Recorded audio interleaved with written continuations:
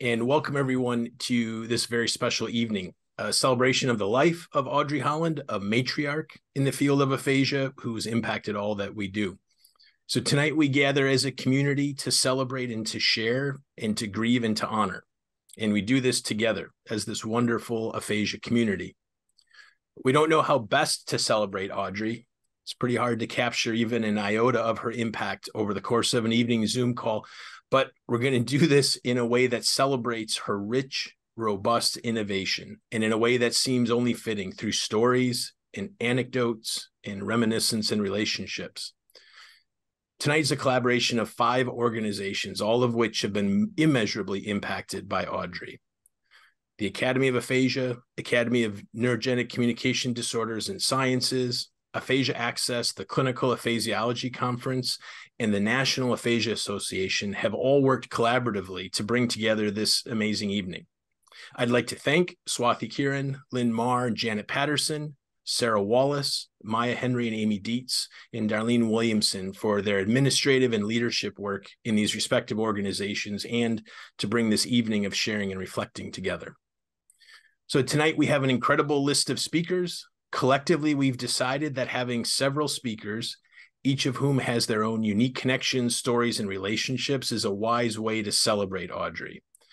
So we'll introduce each speaker. We've decided not to have a question and answer period or crowdsource stories for the evening because we know that would take far into next week.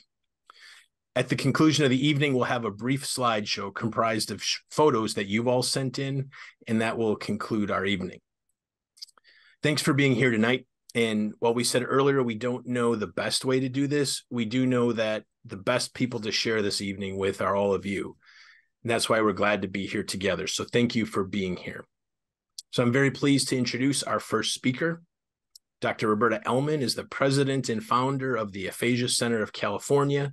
She and Audrey have a long, rich history and friendship together. Roberta co edited the Neurogenic Communication Disorders and Life Participation Approach text with Audrey, among many, many other collaborations. And so, Roberta, I pass the mic over to you.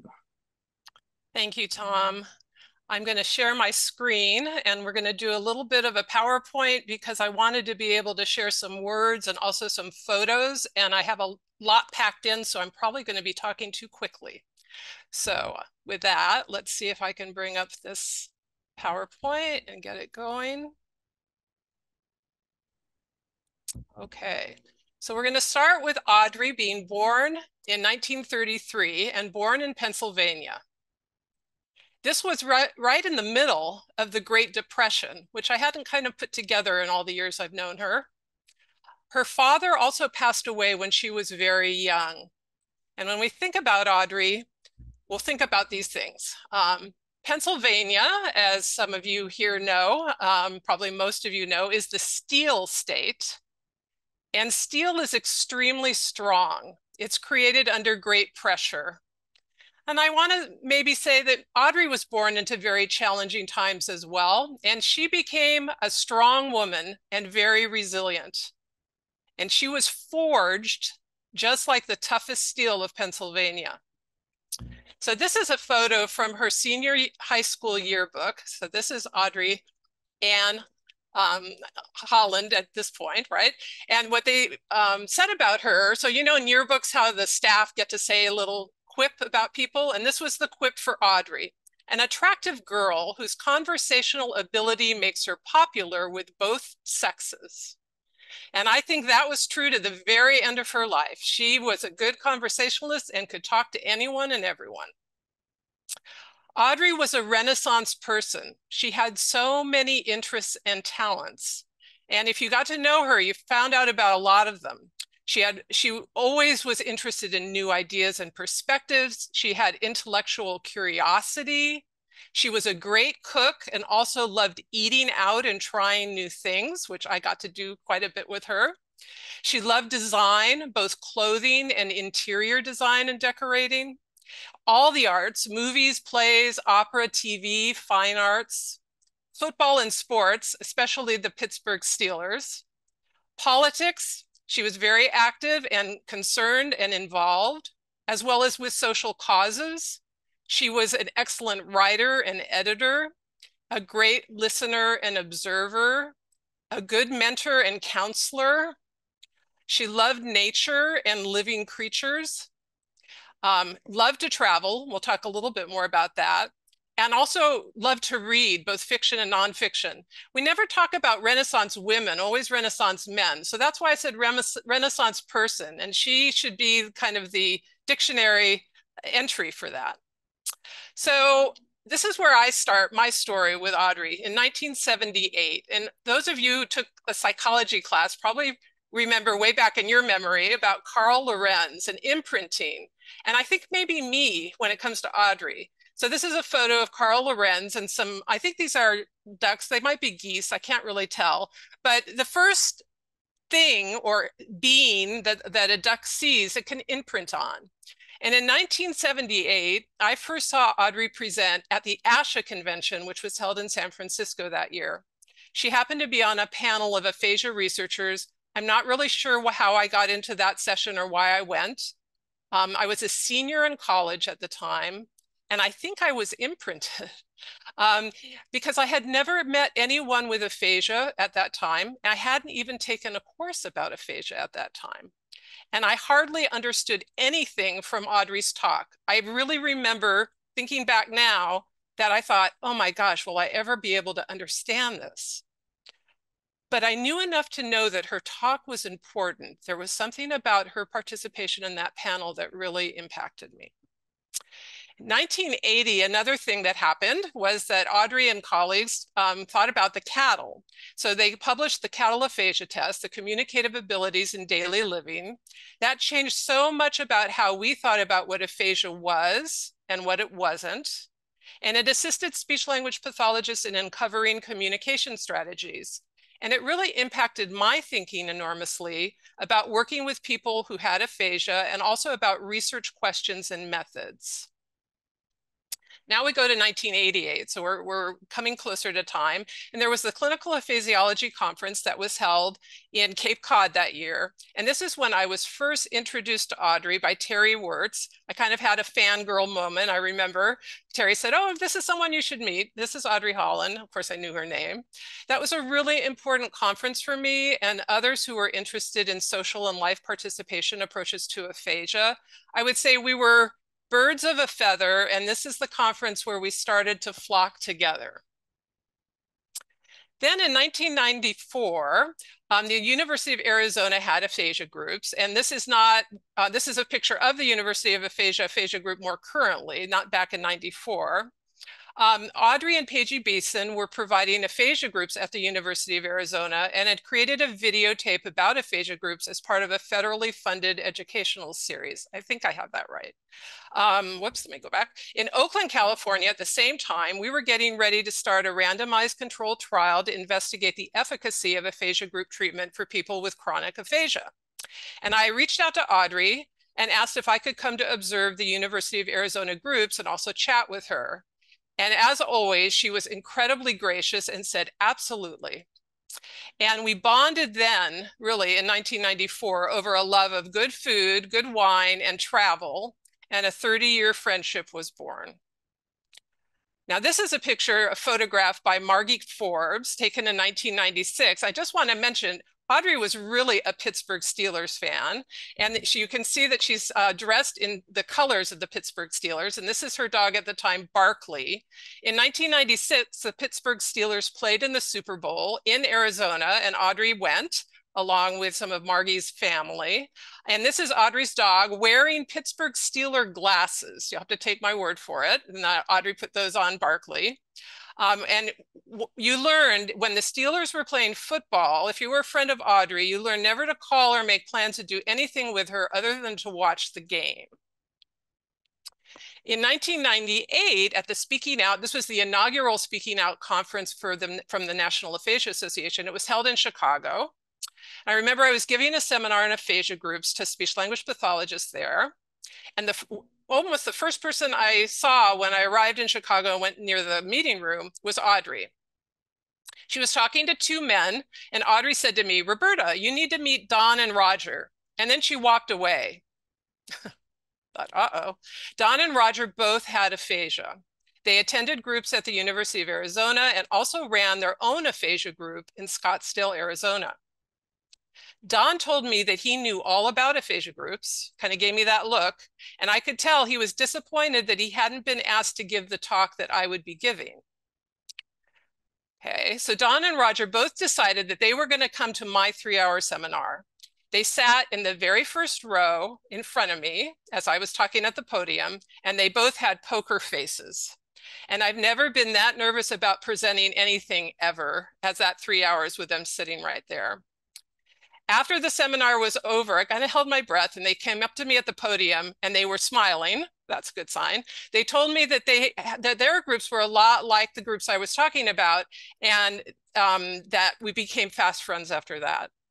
And so Audrey had really connected us. She she loved to connect people. I think it, she was a master of that. She enjoyed getting to know people with aphasia, people without aphasia, and she loved being that matchmaker. So this is a photo taken in 2001 of Audrey and me. So back in 1996, the Aphasia Center of California, we opened our doors and Audrey was incredibly supportive as she is for so many people and was, and interested in what we were doing from the very beginning. She was eager to learn more about how things were going and offered to help us in any way. And she was our keynote speaker for the Aphasia Center of California's five-year anniversary event in 2001. And this photo was taken when the event was over and we were getting ready to head out to a delicious meal. And Audrey and I had a history of that. I usually had to find the restaurant and make the reservation and then we would go. And then this is, we're jumping ahead to 2021. So this is 20, um, 15 years later from the, the, previous one. 20 years later, actually 20 years later, can't do math, Audrey was still just as interested and supportive of what we were doing at the Aphasia Center of California. And this is a photo of Audrey and me chatting about aphasia services at the Aphasia Center of California's virtual 25 year celebration. And um, you can see the word pioneer. We were talking about how she was really a pioneer in all that we were doing. And I threw this in here, and this is actually a photograph by Cindy Thompson, who you'll be hearing from later, taken in 2012, just to say that Audrey loved um, the Dordogne region of France, and especially this cave, the Font de Gaume. She, um, it was very special to her, and I've, I don't know exactly how many times she was there, but I think it might take two hands to count. She visited many times. Um, this area of France really combined many of her very favorite things. It had it has exceptionally interesting history, good food, natural beauty, and art and cave paintings that date back thousands of years. So this was Audrey from, from 2012. Now this is a much better picture of Audrey than me. So no vanity here, I, I actually put it in. Um, in 2015, the Audrey Holland Award of Aphasia Access was established and it recognizes an Aphasia Access member or organization for their distinguished contribution to the life participation approach to aphasia. And Audrey and I were both on the founding board of directors of Aphasia Access. And it was my honor back in uh, 2015 to present the very first Audrey Holland Award to Audrey in Boston at the conference. We even managed to surprise her. Don't have a photo of that. Maybe the aphasia access folks can, can dig and find one of those photos. But this photo was taken four years later when I received that award, the Audrey, and she was attending the conference. And this was definitely a full circle moment. Both of us were crying. She doesn't look like it. I do. Anyway. and then in uh, 2020 and 2021, depending on the copyright date, um, we did a book together. And so I want to talk a little bit about the history of that. Audrey had the idea for a series of webinars focused on LPAA and reached out to five of us, myself and Sarah Barr and Natalie Douglas, Tom Sather, and Katie Strong. And, and then Audrey suggested when we, we got done with those five webinars that um, she suggested we follow it up with a book that would include additional invited chapters. Audrey's goal really was to reach out to early career researchers and clinicians who had innovative clinical approaches to write the chapters. She really was mentoring and wanting people to succeed in the field. She and I spent a lot of time editing. As I said before, she knew how to write a sentence and also how to edit one. Um, I'm going to miss that skill a lot going forward. We spent a lot of time thinking about the right photograph for the cover of the book.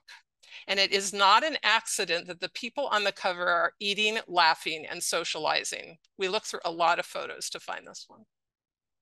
We finished editing the book just as the pandemic started. So here's a picture that was a um, lovely picture, one of my favorites, taken by Leanne Torer. This is Audrey at her um, most recent uh, abode in Tucson, her apartment. And that apartment was filled with artwork and many treasures from the Southwest, as well as her extensive travels. I think it's a lovely picture of her. I really love this one. Um, Audrey was a master clinician. Her excellent observational skills and ability to pivot quickly in real time were natural gifts.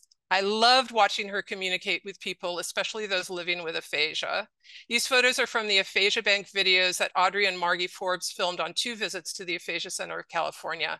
And seeing Audrey's interactions really gave me permission to lean into a more casual style in my therapy that was most natural for me. So Audrey, when we sum it up, she was a connector. She brought so many of us together in the aphasia community, and she was the glue that kept us connected. She was a person, so they were right in high school, whose conversational ability made her popular with everyone. She treasured her friends and colleagues, both near and far. She was so proud of her children and grandchildren. She loved hosting people at her home, and we called it the Holland Day Inn. Her impact, influence, and influence to me, both personally and professionally, are really immeasurable. She had so many talents. She will be dearly missed. Um, that's the understatement of the decade, or maybe the century, by so many. And so many, though, will continue work that will keep her incredible legacy alive. This photograph is by Julius Fridriksson, another lovely Audrey photo taken at her favorite restaurant in Tucson, Feast. I'm just going to end with this closing slide that I love this quote and I just thought of her. The cutting of the gem has to be finished before you can see whether it shines. And that's Leonard Cohen's quote. And boy, is she leaving us a bright light. So thank you very much. I hope you got to know a little more about Audrey.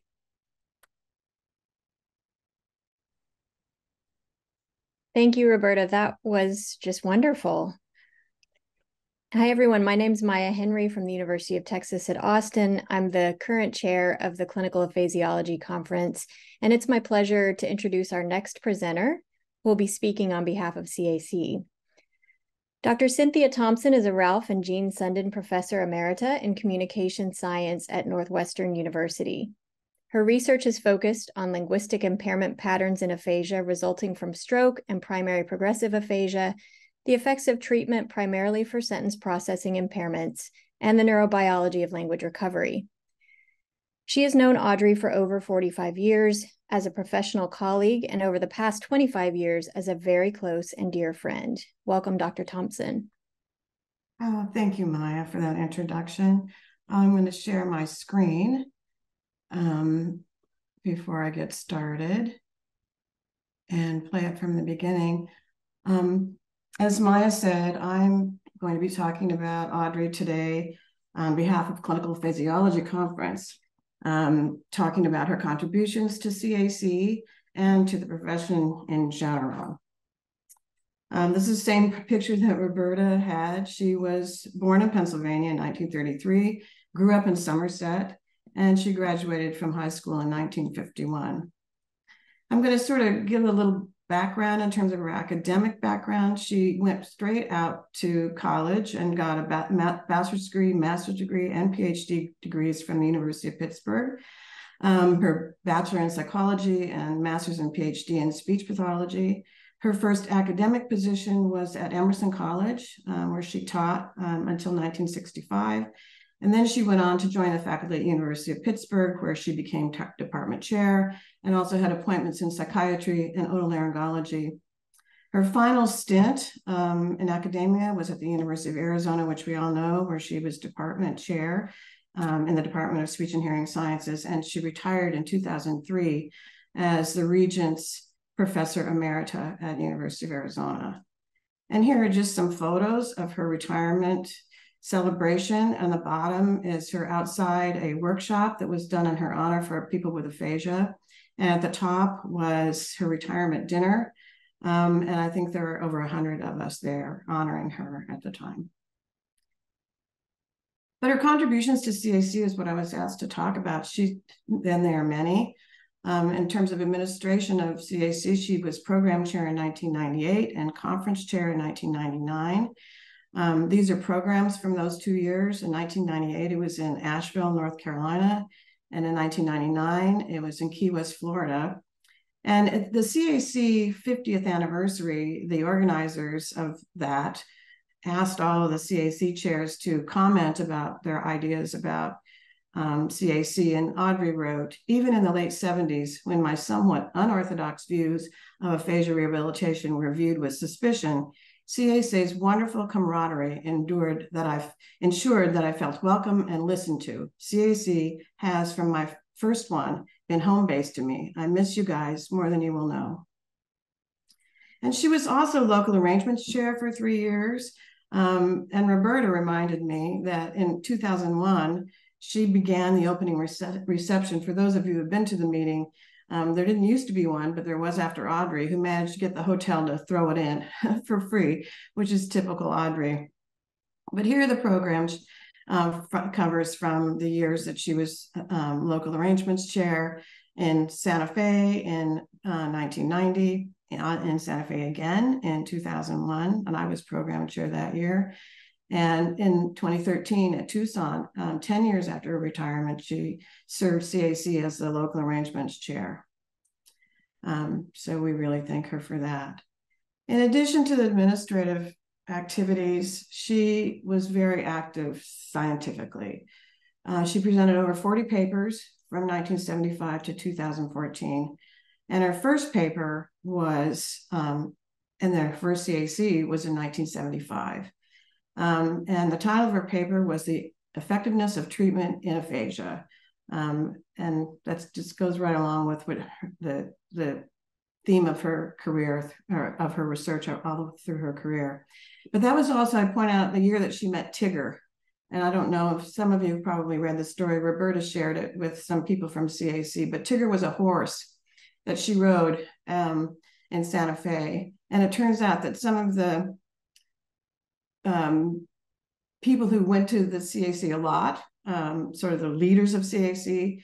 Well, we don't know for sure, but she got she received postcards from Tigger from all over the world, from all over the United States, and they were searching for Audrey. And we think that these people who were highly involved in CAC were the ones who actually sent the postcard. So it's a real fun story that Audrey finally wrote. In terms of her scholarly contributions to the profession, she authored over 200 research articles, books, and tests. Um, she her main area of interest, as I already mentioned, was treatment for aphasia, and she throughout her career wrote summary papers about the state of the art of aphasia treatment. She talked about current trends. She talked about what we needed to do in the future.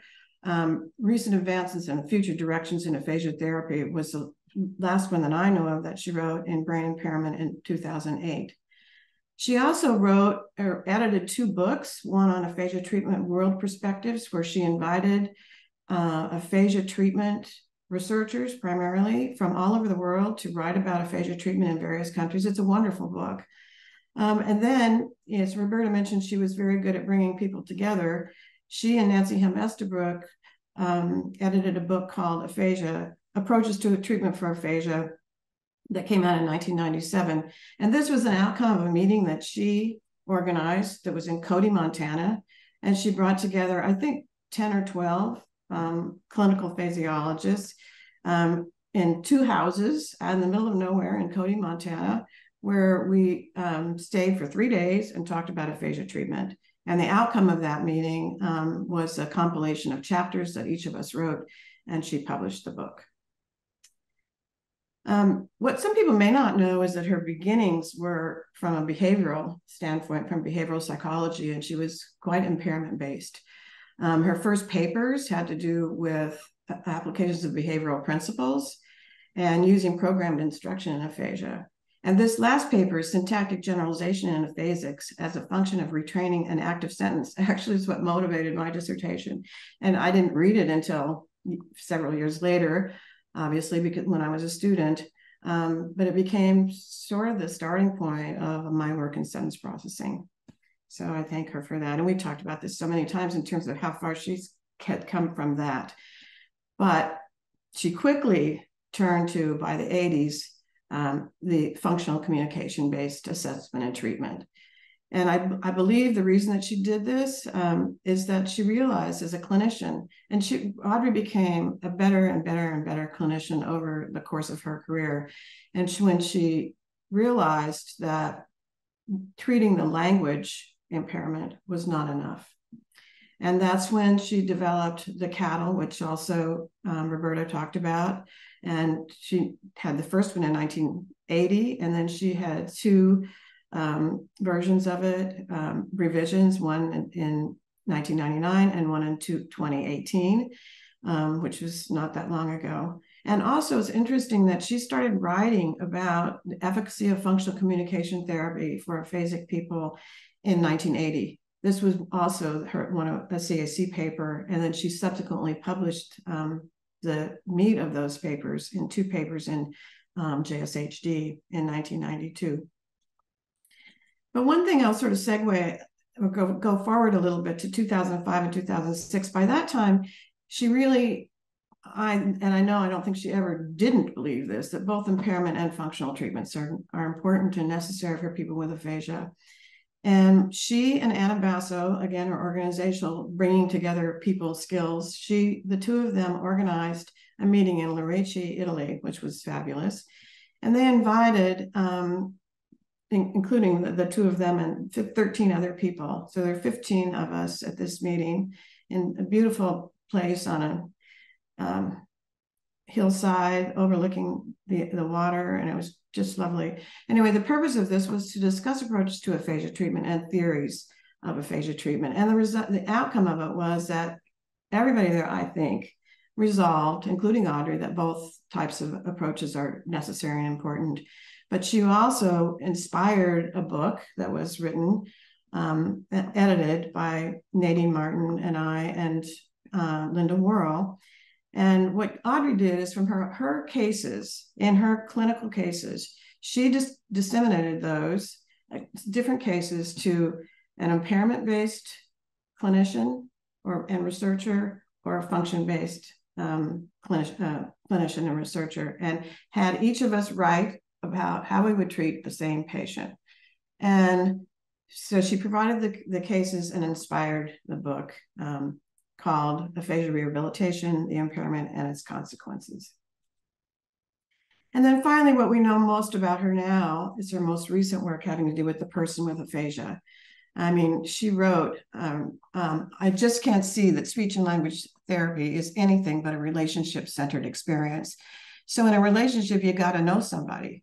If we don't know the person, we're, we're gonna we're not we're we're going to be ineffective.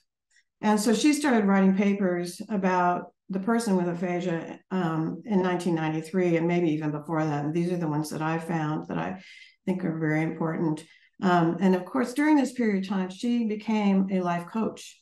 And the reason that she did that is so that she could better understand how to um, serve her clients or people with aphasia as well as their families. And so she wrote this book, Counseling and Coaching in the Chronic Aphasia, um, a, a, book at the bottom, Counseling and Communication Disorders, a Wellness Perspective in 2007, um, as well as several papers on counseling and coaching um, and about living successfully with aphasia. I love this last paper that I listed here, Better But No Cigar, persons with aphasia speak about their speech. That's a perfect title for a paper that Audrey wrote.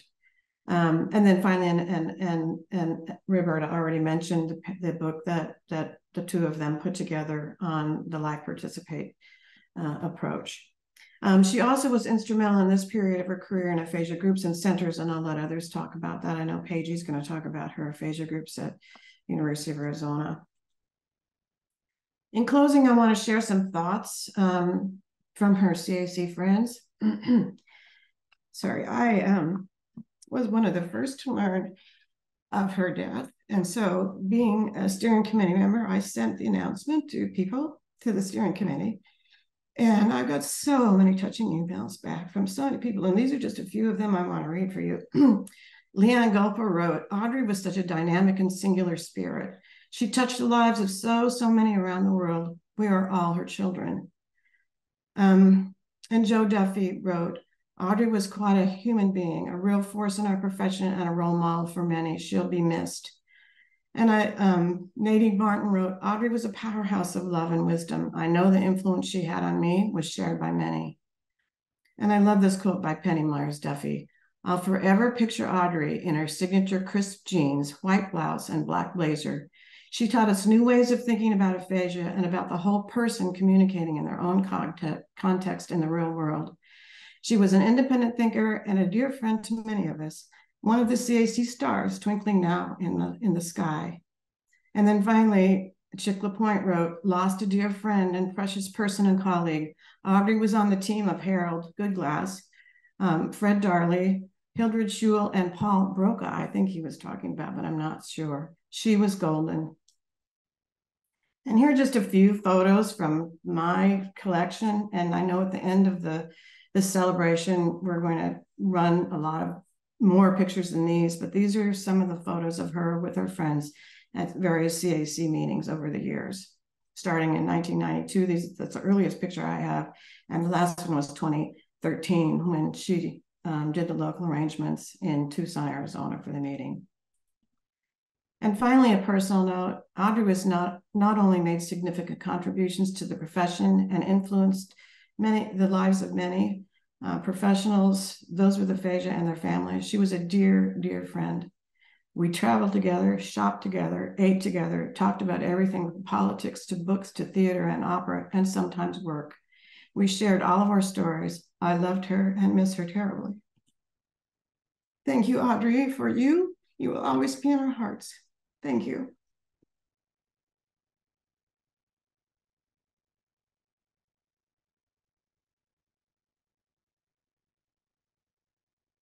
Thank you, Cindy. Um, your words are a lovely reflection on a valued colleague and friend. My name is Janet Patterson, and I am here with Paige Beeson, representing the Academy of Neurologic Communication Sciences and Disorders. And we'd like to continue with reflections about Audrey and her life and her work. We are grateful to join with our aphasia community in paying tribute to Audrey. Paige who I am sure is well known to all of you, is Professor Emerita at the University of Arizona. She and Audrey were colleagues not only in ANCDS, but also at the University of Arizona. Paige? You're muted, Paige.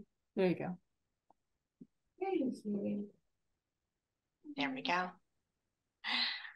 Thanks, Janet. I really appreciate that uh, Roberta and Cindy gave the scaffolding for the history of Audrey's career, and I'm going to focus on a particular epic. Um, Audrey came to the University of Arizona in the fall of 1991 as professor and department head of speech, language, and hearing sciences. Our department had just received uh, NIH funding for the National Center for Neurogenic Communication Disorders and Audrey was one of the principal investigators. I had completed my PhD at Arizona the year before and was working as a research scientist for the Department of Neurology. And good fortune came when Audrey called me before she arrived in town and asked if I'd be interested in joining the center research team. And that began our collaboration. Uh, Audrey came with a vision to develop our aphasia group program. She had visited North York Aphasia Center in Toronto, and she was raring to go. Uh, Audrey often acknowledged the fact that we weren't the first to implement aphasia groups in a university setting. In fact, uh, Dan Boone had facilitated an aphasia group in our department during his tenure, and I can still picture it with 10 to 12 individuals sitting in a large circle. But Audrey wanted smaller conversation groups uh, where relationships were developed uh, as we focused on maximizing communication. So we started the first group, and then second, and then third, and fourth.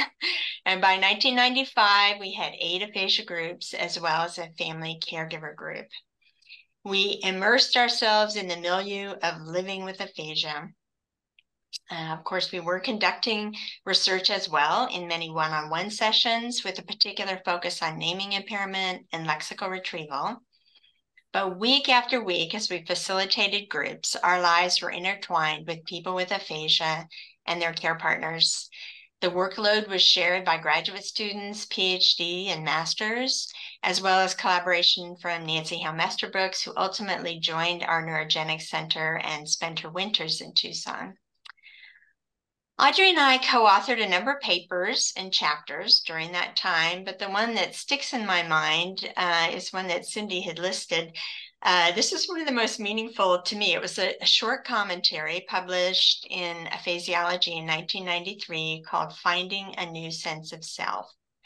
Um, this is one of those collaborations where I've lost track of what words were Audrey's and what were mine because we shared the same view and which we had learned from our patients. Um, here's a quote from the paper. The impact of aphasia can be life changing to the extent, extent that one sense of self is shaken, and a new self image may be in the making from the first wakeful moment following the stroke. Therefore, as clinicians, we will be involved with individuals and family members as they mourn the insult to the pre stroke identity and as they make adjustments to the sense of self. So, this is so true. And always, Audrey always conveyed that it was a privilege to walk beside patients and family down the road to recovery. But the destination was not the same place that the person was before the stroke. And Audrey emphasized it's a path where our interactions should reinforce the individual's self worth as we support an often fragile self image during the time of crisis and when we have the opportunity over the long haul. One of Audrey's beloved patients, Roger Ross, had been a highly successful international businessman before his stroke. He shared with us that life was good before his stroke, and life after the stroke is different, but it's good too. Audrey knew this truth and she helped patients and families and students to understand and to embrace it.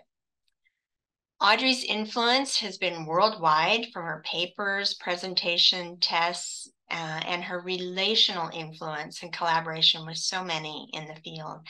But when I think about her time at Arizona, I think about her influence in the tradition of Norman Geschwind, where she mentored students in the classroom, the lab, the clinical setting, who have gone on to do great things themselves and to mentor other generations of clinicians and clinician scientists. She was a primary mentor to some and a bonus mentor to others.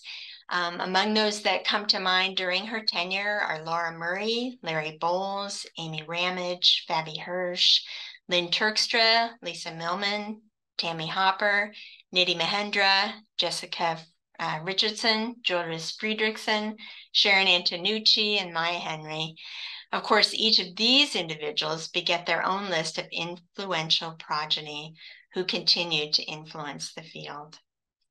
In closing, I want to share a few words um, from Audrey that were recorded on the occasion her, of her being honored as Regents Professor at the University of Arizona in 1998. So I will share my screen.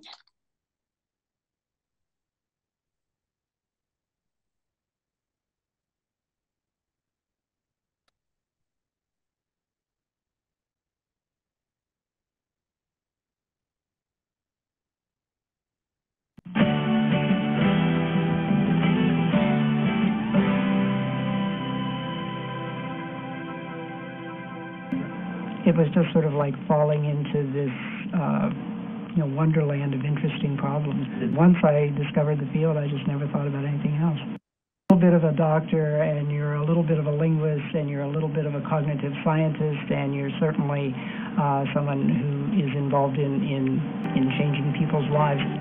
I've, I'm filled with gratitude about it, and I'm a little embarrassed about it too. I have to say, but it, it's uh, um, it's really one of the very nicest things that ever happened to me, and I'm very grateful for it.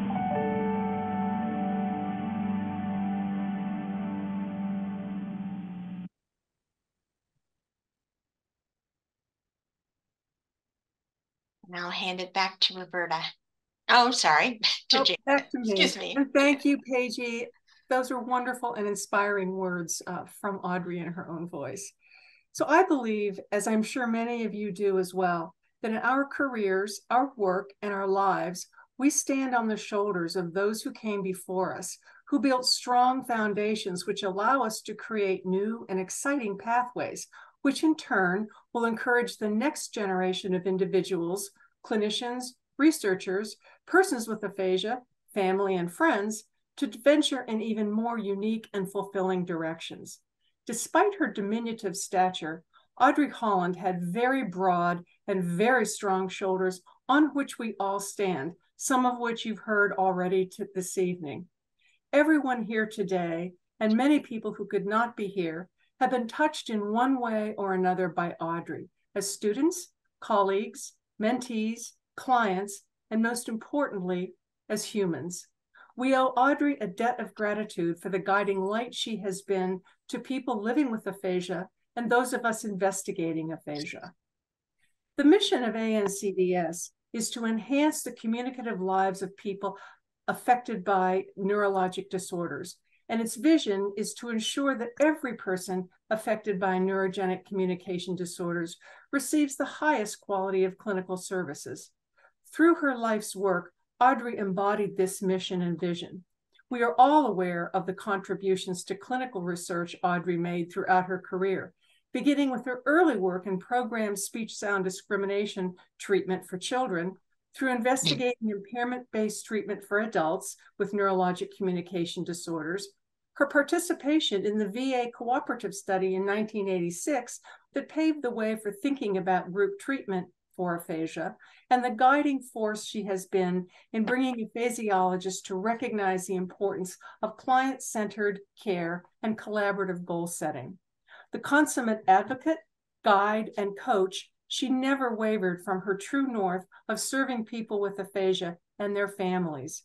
Her publications and presentations about counseling for persons with aphasia and their families, coaching persons with aphasia, her advocacy efforts, and champion activities such as meditation and yoga as important in aphasia management have been revolutionary and have become mainstream in our clinical world. Audrey has been important to the ANCDS family.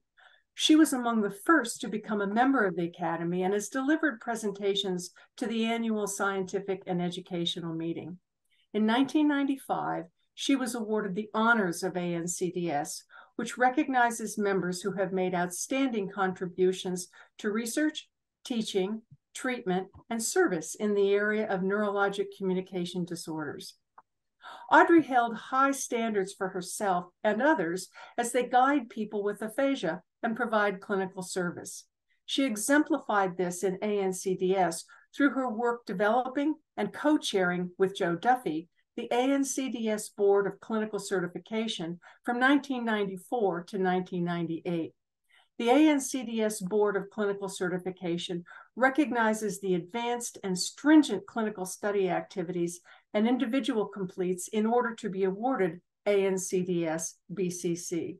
The goal of this program, consistent with the goals espoused by Audrey in her career, is to maintain high standards of practice in serving persons with neurogenic communications disorders and their families. Her pioneering efforts in this area have been sustained to this day in the current work of the BCC. Speaking for the ANCDS members, we are grateful to have had Audrey as part of this organization and to have been part of her life.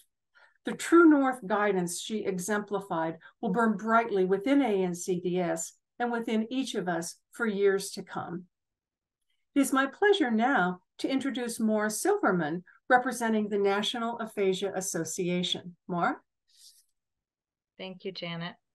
What an honor to be able to, first of all, sit in Darlene's spot tonight. Unfortunately, Darlene is not feeling well and could not attend today, and to sit amongst so many of the people that interacted with Audrey throughout her life as both colleagues and friends. I think it's interesting the timing and the information that Darlene asked me to share because the NAA, as set up by all of the previous speakers, is to provide education, research, and support. And those things were so important to Audrey. as I've been listening to people over the last week and three days of my job with the NAA, I have heard things like the NAA holds a special place in my heart. That's Audrey. That it is a beacon or a lighthouse. That also is Audrey. When I asked Darlene if I could help since she wasn't feeling well, she sent me some words. She said, She took little nobodies like me and made us feel important, and that our contribution to the aphasia world counted. And representing all people with aphasia, she gave us permission to step outside of the medical model and to listen to what people with aphasia want and what they need. Very appropriate and set up well again by the previous speakers. One of the interesting timing situations here, too, is that as I think about my interactions with Audrey, it's very similar to what Darlene experienced, which is you're talking to me. I think we all have recognized when that phone rang or an email came and it said Audrey Holland that you took that little breath of like, I think she must have the wrong number. She can't be possibly talking to me. But during their AphasiaBank, Margie and um, Audrey came to the Triangle Aphasia Project during my tenure there, but not to see the Triangle Aphasia Project and get samples just from people there, but also to interview my mom, who suffered a massive stroke in 2009. That interaction that my Audrey had with my mom is imprinted, similar to your story, Roberta, in my heart my mom shared things, talked and communicated in a way that she hadn't since her stroke, and connected immediately with Audrey um, in her head and in her heart. Before I accepted the position to the National Aphasia Association, I kept calling Audrey, called her multiple times. One time I got her, heard her in the background talking, but she left the phone on. So it's like, can you hear me? Can you hear me now, Audrey? Please pick up the phone for probably a good five minutes. Um, then I hung up and I never was able to speak to her again. She had um, then died several days later, actually, on the day that I accepted my position to the NAA. When I was unable to reach her and when I finished up at TAP, a dear friend of mine and of Audrey's, actually, Marianne Eller, came to a little gathering to say goodbye, um, to thank, you know, the TAP family as I left it. And she shared something that I think you all have heard Audrey tell this story, but she had painted something for me. And it was the starfish story. And if you haven't re- read it, I am not going to read it for you, um, the whole thing, but please look it up because at the end it talks about it made a difference to that one that she helped. And so I think that talking about how Audrey impacted NAA is very similar to how she impacted us as professionals. She didn't see anybody as a nobody. She saw everybody as a somebody. And in this, I am forever grateful and it was so beautiful to hear her voice. So thank you for that as well.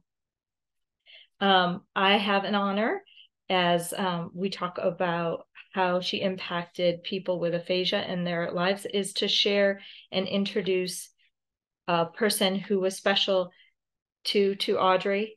Eileen Erickson is the wife of a stroke survivor with a long and close relationship to Audrey. Eileen, thank you so much for joining us. Thank you, Mara.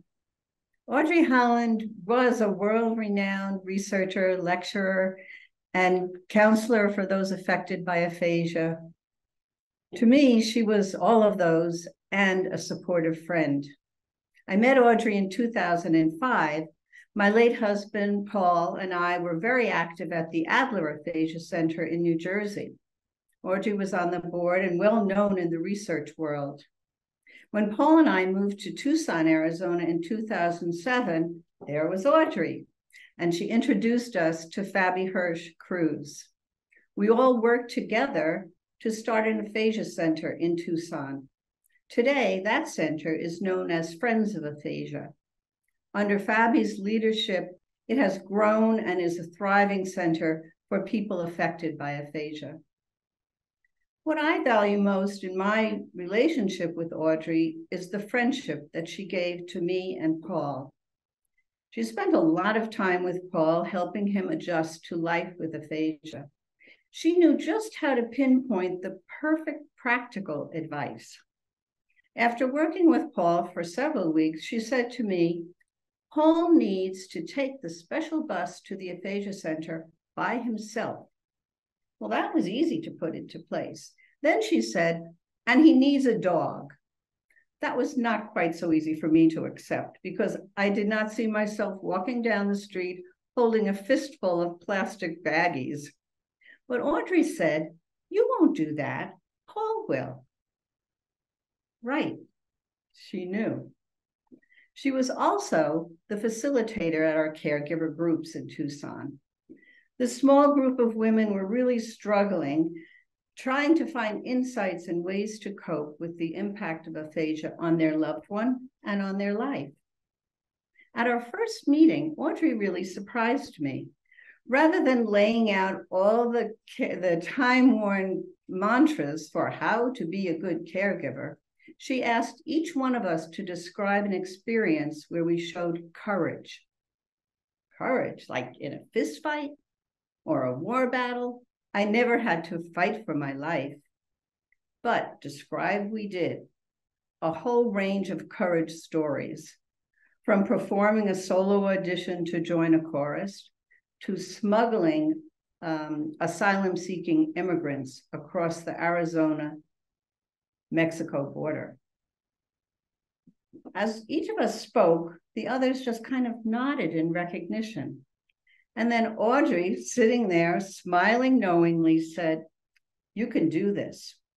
We all left that meeting standing taller, cloaked in our newly recovered courage. As my friendship with Audrey developed, I called her Little A. I kind of think she liked that. She passed on a CD of doo-wop music to me, knowing that I really liked that genre, and she definitely did not. We celebrated birthdays together, but she never revealed her age. However, earlier this summer, my friend Christina and I took Audrey out for a birthday lunch. And it was there that she took out her driver's license and she said, I'm going to be 90. And so another page has turned in the book of life for Audrey. I will always cherish my Audrey chapter. Thank, Thank you. you, Eileen. Thank you for sharing. That was You're beautiful. Welcome. I have the opportunity and honor to introduce another one of Audrey's mentees and friends, colleague, league. Sharon Antonucci is representing the Academy of Aphasia she is a clinical researcher in aphasia and aphasia rehabilitation. She received her PhD at the University of Arizona in 2005 and is director of the Moss Rehab Aphasia Center. It's all you. Hi, thank you. I was very, very grateful to be included tonight. And I, listening to everyone and listening to how everything is flowing and, and our stories connect from one to the next really makes me feel like Audrey is here with us. Um, Maura mentioned emails from Audrey, and I actually still have the very first email I ever received from Audrey. Um, it was back in May of 2001, and she was actually emailing to tell me that she could not be my PhD mentor because she was moving toward retirement. Um, but she was still in the department. She was still of course, working in the aphasia research project, and I had the opportunity to work with her on my qualifying committee and later on my prelim and dissertation committees. But how Audrey and I really bonded is that I became her go to dog sitter for her beloved dog, Bob. Um, and this was a time when Audrey was doing a lot of traveling, including when she went to Christchurch. So I spent a lot of time with Bob. Um, and of course, I was immediately besotted with him and came to think of myself and Audrey and I bonded um, as his his dual moms, his mom and his mom when his real mom was away from home. And so I was so fortunate to be able to spend so many evenings around Audrey's dining table or in her living room, um, just chatting about all every topic you could imagine. Um, but no matter how much time I spent with her, I never lost that that slight sense of awe that I had that I was sitting and talking to the capital T H E Audrey Holland her vivacity, her intelligence, her creativity, and just her stamina um, and love of life were larger than life. And it wasn't until I had known her for many years um, and I was standing next to her at some event in my high heels that I'm always wearing. And I realized how petite she was. I had always thought of her as just being enormous. She had such an enormous presence and i was kind of struck by how petite she really was um, and I, I, also remember when um, it must have been my first year at the u of a. Um, so this was back again in the early 2000s so audrey would have been i think in her late 60s at that point. And she walked into the office that i was sharing with maria munoz who was her postdoc at the time. And I can't remember why this came up, but she said, you know, it's only in the past year or so that I really understand what people mean when they say they're tired. She just had so much energy um, and just so, always so many things going on that she just kind of never experienced being tired. Meanwhile, I was in my 20s and all I could think was, geez, I could really use a nap. Um, so she was just an inspiration in every sense of the word. Um, but kind of as towering as that image of her was and still is, it really was the combination of her honesty and her genuine caring and her real kind of deep generosity of spirit, I think, that made Audrey unique. And the, as a mentor, the amount of support that she gave was absolutely incredible. And it was also no nonsense. Um, if she had a critique, you were going to hear about it and you were going to hear about it in, in no uncertain terms. Um, I remember when I was getting feedback on my dissertation, and this was for the youngsters in the crowd, this was back when you actually printed out your dissertation and people wrote you comments in, in handwriting. Um, my primary mentor was Paigey. And Paigey would give me these beautiful line edits in her extremely fabulous penmanship. And then I would get some, I would get comments back from Audrey, and there would just be a, a whole page that just had one big question mark on it no comment, no line edit, just a big question mark. And I thought, okay, well, either I haven't I haven't made my argument clear to Audrey or she thinks my argument is a big so what. So I better go back and and fix this. Um, I just have so many memories I'm so grateful for of of Audrey. But I think if I had to single out one, I'd say the greatest gift that she gave me um, and this includes the donation that she made toward my graduation gift to myself, which was a pair of Manolo Blahniks, which she was very excited about, um, is that she really gave just unwavering support in terms of confidence, in terms of enthusiasm, um, in terms of expertise. Um, for my belief in the power of the human non human animal bond to impact aphasia recovery and just to make life better. And it was because of conversations that I had with Audrey and an amazing weekend that I spent with Audrey and Myrna Schwartz back, I think, in 2018 that led to us getting what I think is the very first NIH funded study for animal assisted research for people with aphasia. So Audrey Audrey's legacy will will live on for for all of us, um, including not only ourselves but our animals. Um, and so, for what I'm going to share, as I think is probably often the case for those of us who consider ourselves animal people, um, I don't have too many photos of Audrey and myself. I don't know if I actually have any photos of Audrey and myself. So I wanted to share this photo of Audrey, which is my all time favorite. And thank you, Paigey, for finding it for me. Uh, this photo was always in her home. Audrey's home was full of, of art and photographs.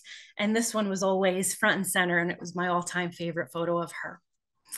And these are some photos of our beloved Bob.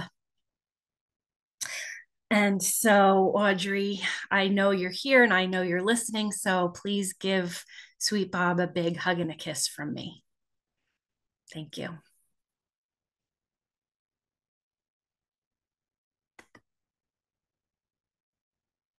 Thank you, Sharon. That was wonderful, wonderful uh, recollections and wonderful pictures as well. And certainly lots to appreciate with the animals who certainly are humans. So thanks. Uh, great, great stories and great uh, recollections. So uh, it's my pleasure to introduce our next speaker.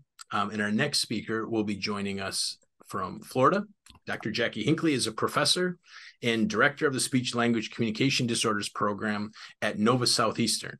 She's also on the board of directors of the National Aphasia Association and Aphasia Access, a fellow in person centered care and board certified in neurogenic communication disorders. And like Audrey, she forwards the profession through her mentorship and support of early, mid career, and beyond professionals. And I can attest to that on multiple times and evidenced by the little flamingo relic that I have hanging on my, my bookshelf that she shared with me in a time that I greatly needed some support and certainly appreciated. So it's my pleasure to introduce Jackie Hinckley. Thank you, Tom, for the very touching and generous introduction. I appreciate that. Um, I'm very humbled to um, have an opportunity to speak at this event today and to honor Audrey. Um, it's hard to know where to start to describe her legacy or her effects on me and on us all. But I guess I'll begin with a story that starts with the development of the communicative abilities and daily living test in 1980, which was mentioned previously, a test that involved role playing and making observations about what a person with aphasia would do in different situations.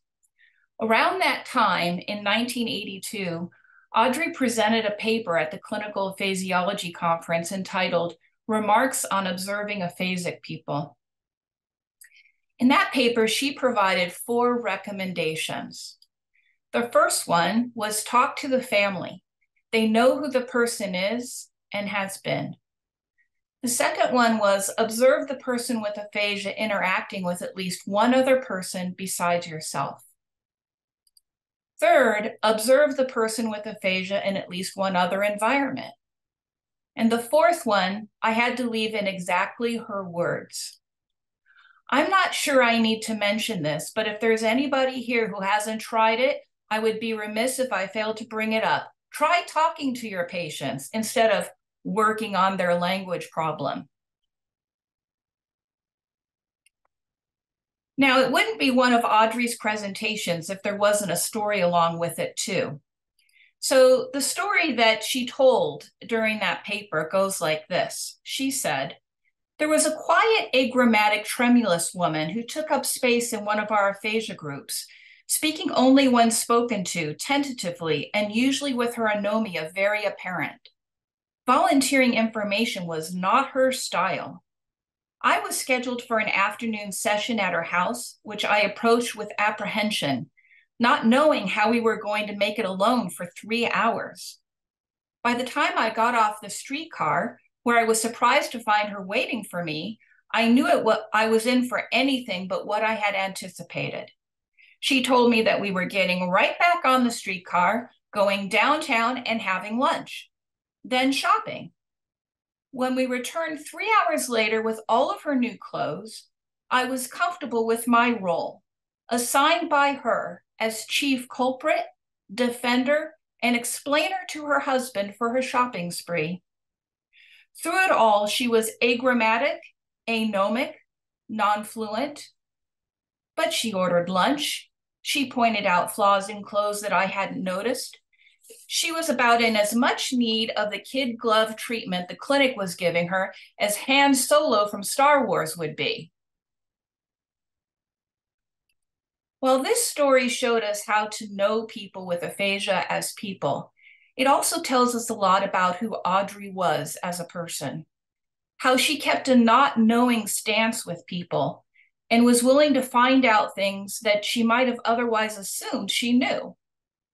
To me, this is a hallmark of her entire career. Every study, every grant, every publication, every interaction began with the assumption that she didn't know this person or their experiences. She always assumed that she did not know exactly this person's aphasia, what it meant to them, or how it intersected with the complexities of their personality and their unique life.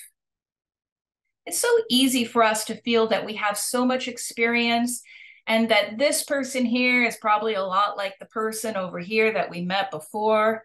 And yet, Audrey didn't do that. How did she do that? And I'm not just talking about people with aphasia and their families. I mean all of us. She approached each one of us as a whole person. She did not limit her knowledge of me or of any one of us to our professional personas, what we were like as clinicians or researchers. She knew who was a writer of beautiful poems or going through a divorce or who, or who had recently fallen in love. One day when she was, I think, around 80 or so, she was telling me about how she wanted to go see the polar bears and how she didn't care if she slipped off the glacier, she was going to try to go see those bears. I told her that I could understand that. When I was out in the ocean on a small boat with just my husband, um, I thought that if things went wrong, at least it would make a fabulous story. Audrey replied with, You and I have a lot in common. Audrey had a lot in common with everyone. She had a magical power to see the whole person, find the common link, and connect those links across people. She drew people to her and along with her like a benevolent tidal wave. Thinking about those four previous points from 1982, which were here. We could also think of them as remarks on getting to know people. Good guidelines for a positive life that changes people. I don't know if I would have truly learned those lessons without Audrey. In closing, I'd like to share my personal feelings and I suppose many of you might share with share these with me. But Audrey's faith and confidence in me changed my own self-confidence and enabled me to do things that I would have never attempted had it not been for her love and support.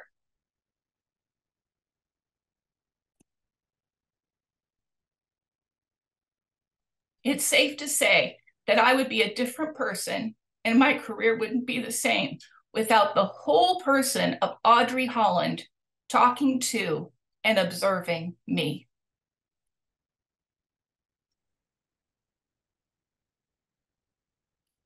Thank you. Thanks so much, Jackie. Um, that was wow. I, you took me through the roller coaster of emotions because I was laughing and almost fell out of my chair, and then um, you really brought it home with some very touching words. So thank you so much, Jackie. That was beautiful. Um, it's my, uh, I'm Sarah Wallace. I'm um, the Vice President for Aphasia Access. And it's my pleasure to introduce our final scheduled speaker for the evening. Um, Dr. Davida Fromm is a faculty researcher at Carnegie Mellon University, just down the street from me. And I'm um, fortunate to get to call Davida a friend and neighbor. And she's here to share um, as one of Audrey's um, dear friends and colleagues. Um, she's here to share um, some words from Audrey to kind of wrap up the evening. Thank you so much, Sarah. I'm so honored to read some of Audrey's work. What a joy it was to dive back into 50 plus years of her publications that have been well reviewed tonight. And seriously, when you're missing Audrey and need a fix, reread one of her articles. Her unique voice, her profound wisdom and humanity and humility and humor come through loud and clear. So, in Audrey's words, let me share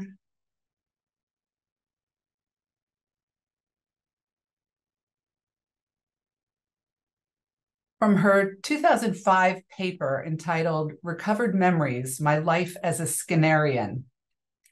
In retrospect, I think my operant swan song was sung as a result of a study published in 1974 with my colleague Judith Sonderman.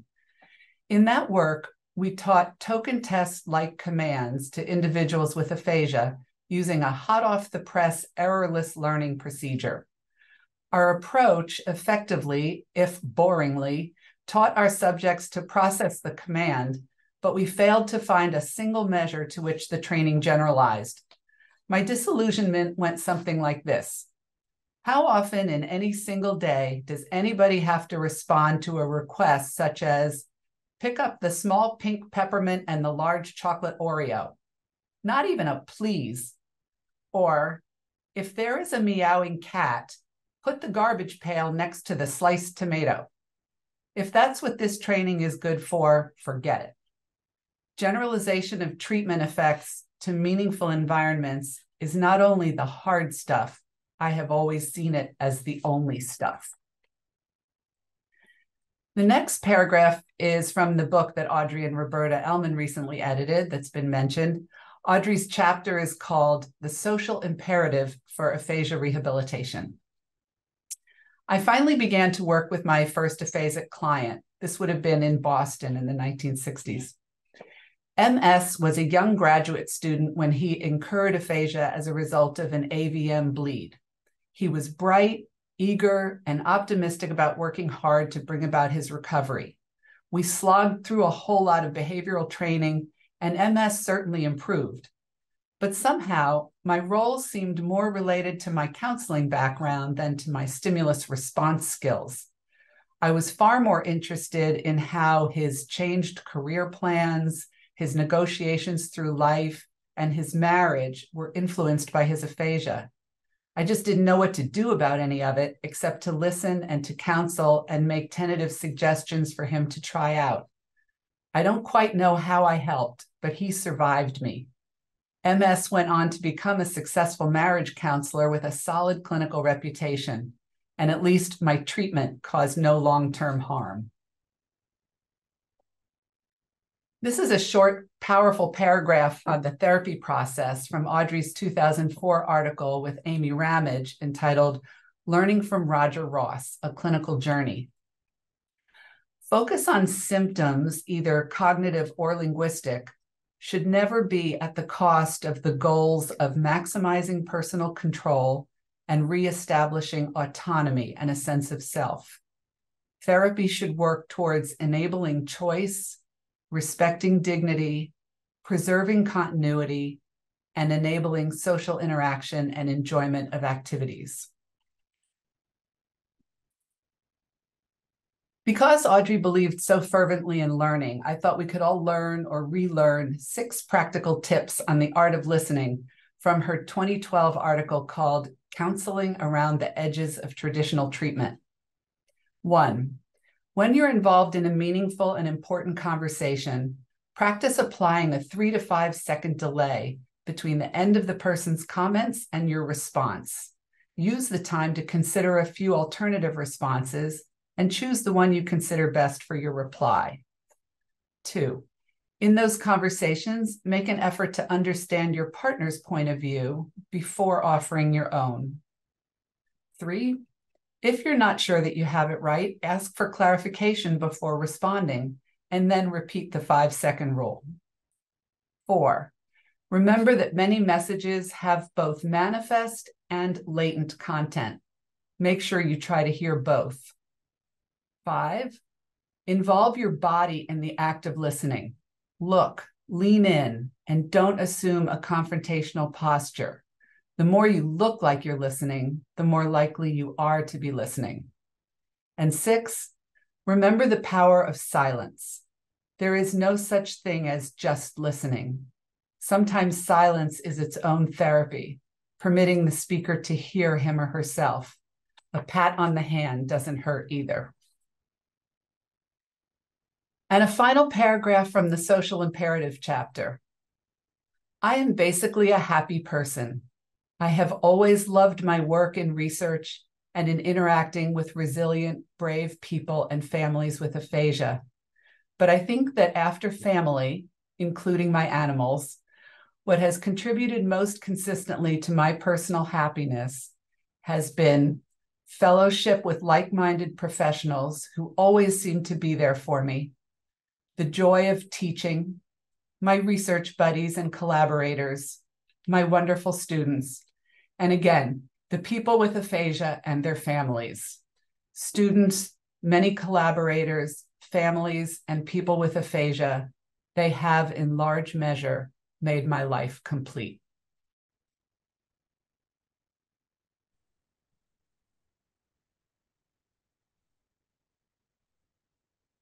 Thank you all. And with that, we'll now shift to the slideshow that will run for about the next four minutes.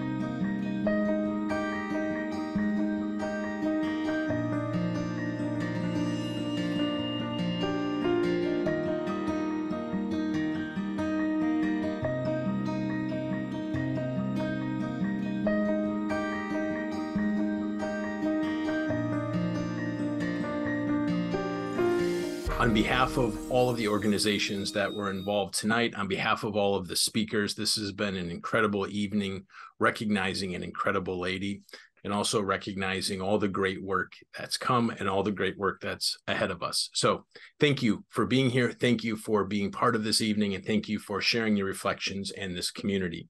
Have a great night.